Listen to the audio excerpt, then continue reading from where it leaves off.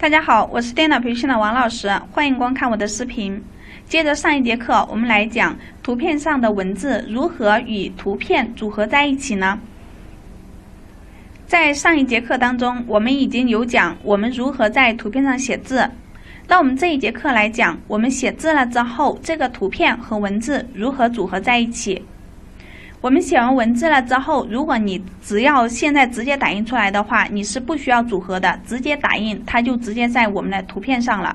但是如果是你在放在文章里面的话，偶尔你就会移动你的这个图片。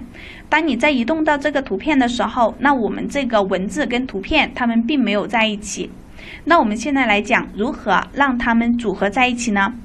好，方法就是用鼠标点一下这个文字。那之后，我们用鼠标来点一下上面这个圈圈，看没有？光标放在文字这里面了之后，上面是有个圈圈的一个箭头的圈圈哈，点它一下就可以了。点完了之后，我们在键盘上按 Ctrl 键不松手，键盘上键盘左下角有个键 Ctrl 那个键，点它一下，按住不松手哈，然后用鼠标点外面这张图片一下。好，那现在的话能看得见里面这个文字，它也被选中了；外面这个图片，它也被选中了的状态下，我们来到右上角这个地方有个组合，点一下这个组合按钮就可以了。好，那现在的话呢，我们已经把图片和文字已经组合在一起了。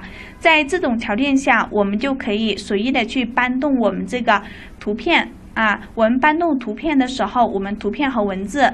无论在什么时候，他们两个都在一起了。